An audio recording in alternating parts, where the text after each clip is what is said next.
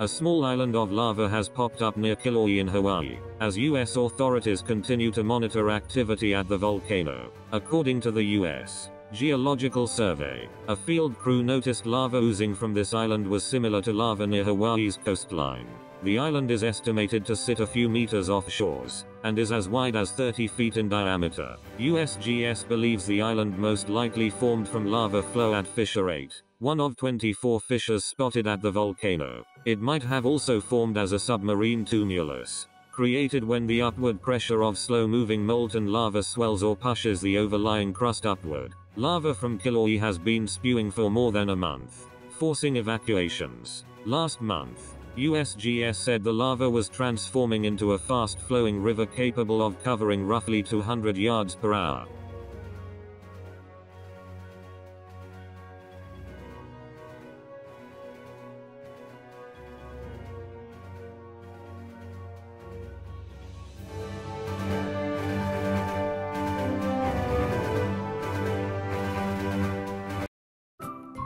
Thank you for watching.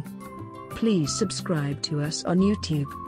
If you like donate to us visit home on the page PayPal.